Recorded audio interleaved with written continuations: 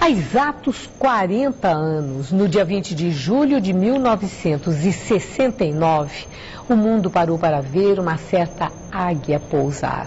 Era módulo lunar da missão Apolo 11. O Jornal da Gazeta exibe esta semana a Odisseia Lunar 40 anos, uma série de reportagens especiais sobre a conquista da Lua e as consequências desse gigantesco passo na história da humanidade. A reportagem é de Carlos Biguetti.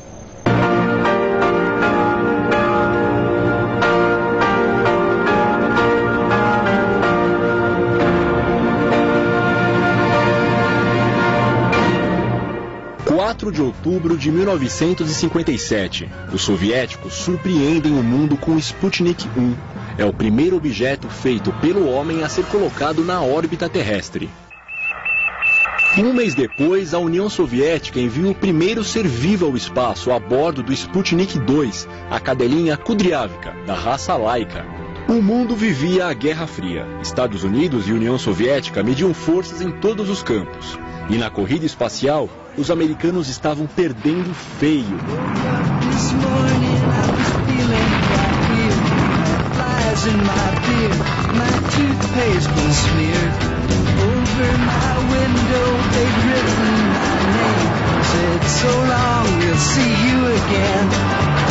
Os russos avançam ainda mais. Em abril de 1961, Yuri Gagarin entra para a história como o primeiro homem a ir ao espaço, a bordo da Vostok 1. Gagarin faz uma revelação: a Terra é azul. O voo dura apenas 1 hora e 48 minutos. Na volta, Gagarin é recebido como herói nacional.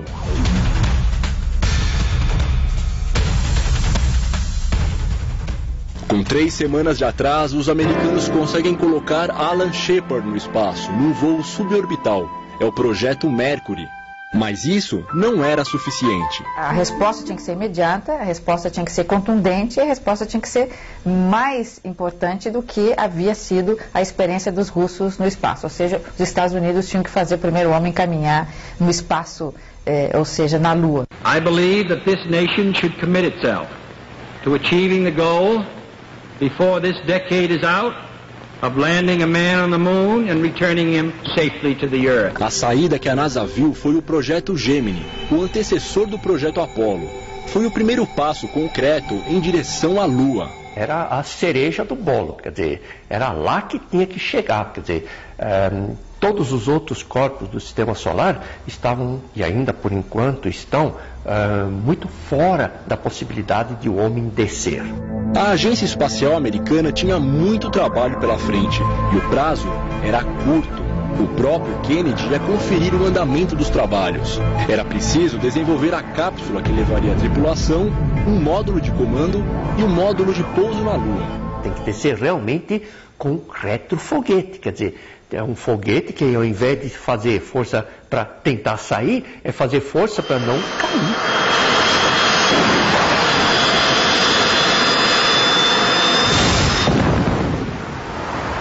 Todas as missões com destino à Lua eram levadas ao espaço pelo gigantesco foguete Saturno V, que tinha altura de um prédio de 35 andares, como aquele ali. O Saturno V foi um dos foguetes mais potentes já construídos. Abastecido, ele pesava 3 mil toneladas. E o lançamento de um desses era um espetáculo à parte.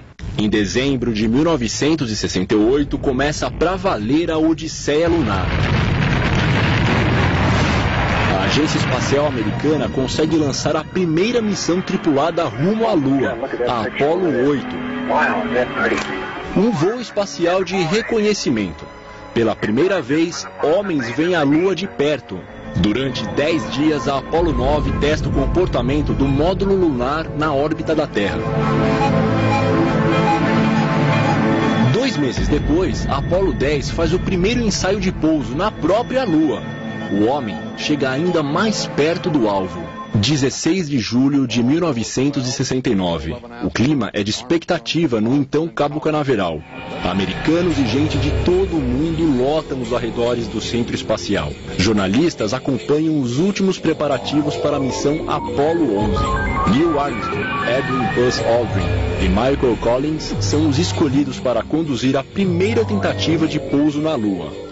Essa americana de Atlanta recorda o clima de patriotismo que tomou conta dos Estados Unidos. Que era na época da, dos filmes espaciais, né? Então, todos os pais falavam, vem, vem, vem ver, isso aqui, não esqueça isso nunca na sua vida, que isso é, é a coisa mais importante. O país vivia um sonho, mas estava com o coração nas mãos. Você imagina você entrar num foguete na época da Apollo e falar assim, você vai à Lua nesse foguete, com o nível de tecnologia e desenvolvimento que existia na época. Then when you get very close to launch, it's suddenly like someone turned on a big uh, electric light bulb. You think, you know, I think we're really going to go. I know, I think it's going to happen. We're going to leave.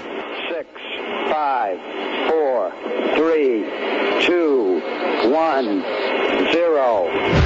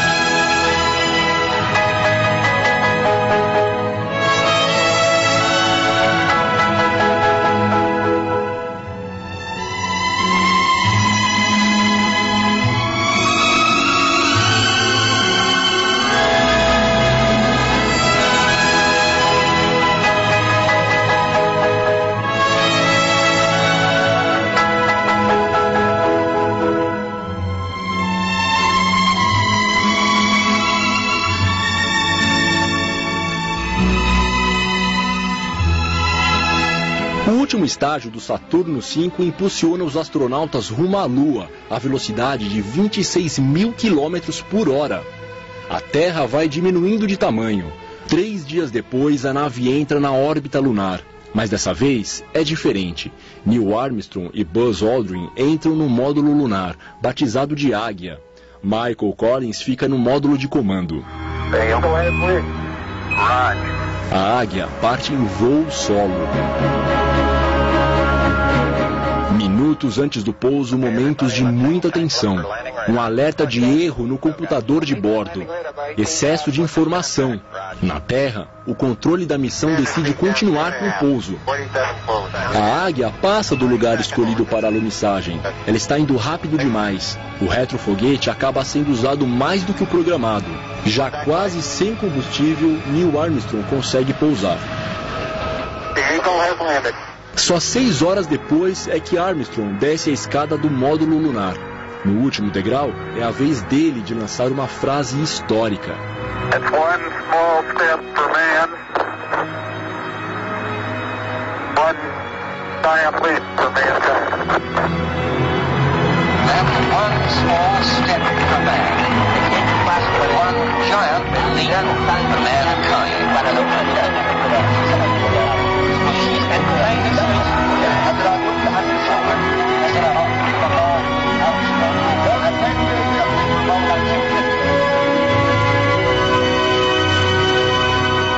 Caminhada lunar dura duas horas. Buzz Aldrin e Neil Armstrong recolhem 20 quilos de rochas, pedaços de outro mundo.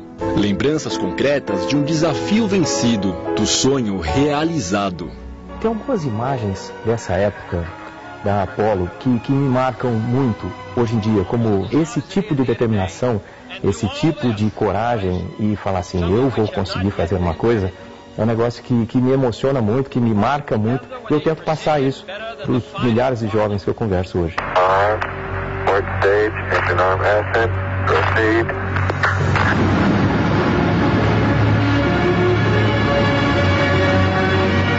Beautiful. 26, 36 feet per second up. Pitch over.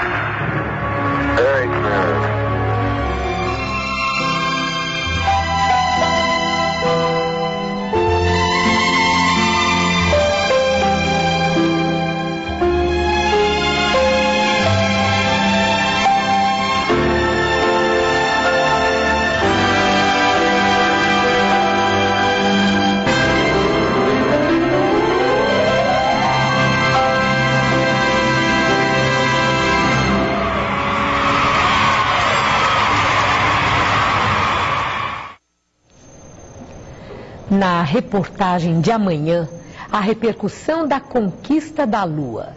Nós vamos ver o que um astronauta e um astrônomo têm a dizer a quem não acredita que o homem realmente pisou lá. Amanhã, aqui no Jornal da Gazeta. Nossas reportagens podem ser vistas na íntegra no site do Jornal da Gazeta, www.tvgazeta.com.br barra Jornal da Gazeta ou acompanhe-nos através do Twitter, www.twitter.com barra Jornal da Gazeta.